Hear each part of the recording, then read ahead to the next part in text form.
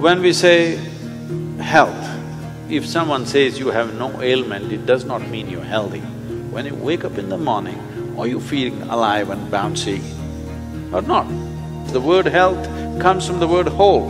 You must have a certain sense of wholeness of body, mind, energy and the fundamental nature of your existence. If all these things are in alignment, now when you wake up in the morning, you feel like you're just born. If this happens to you, that means you're healthy. One simple thing all you girls can do is just bring forty to fifty percent of the food in its raw form, that means it's alive. It must be a live cell, it can be a vegetable, it can be a fruit, it can be a nut, it can be sprouted gram. At least forty to fifty percent, the food that you eat must be alive. You eat dead food and you want to live, this is a little difficult thing to do, because you have to raise the dead now. When you cook the food, to digest the food, all the ingredients necessary for digestion are not in the body alone. The food also brings these enzymes.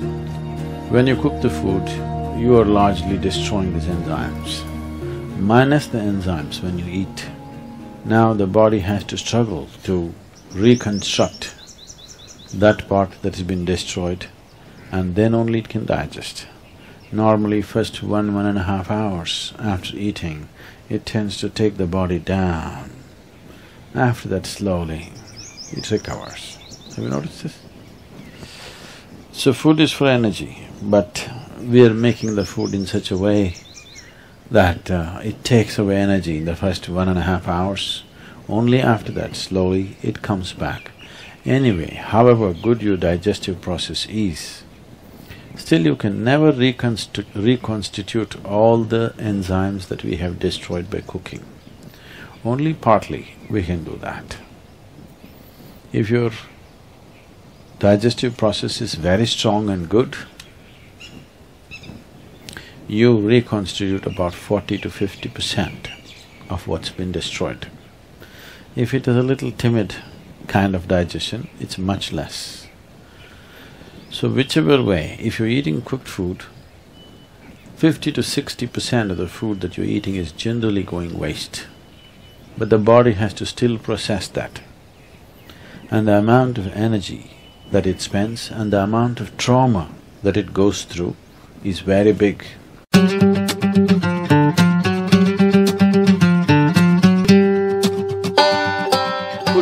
Many things to many people, but essentially for the body, it's the fuel. If you put the right kind of fuel, this will be on in a certain way. If you put the wrong kind of fuel, somehow it will manage.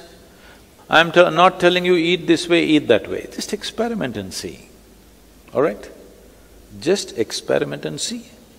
Tonight if you go, instead of eating whatever cooked food, just eat fruits and see, tomorrow morning you will not need an alarm bell, you will wake up before the alarm bell.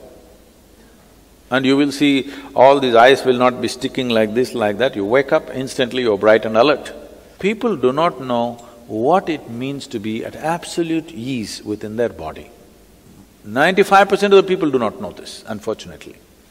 Because you put the wrong kind of fuel, you can keep this body like breeze. Simply, it goes ahead of you, you don't have to drag it wherever you go. It must float ahead of you. You can do this just putting the right kind of fuel.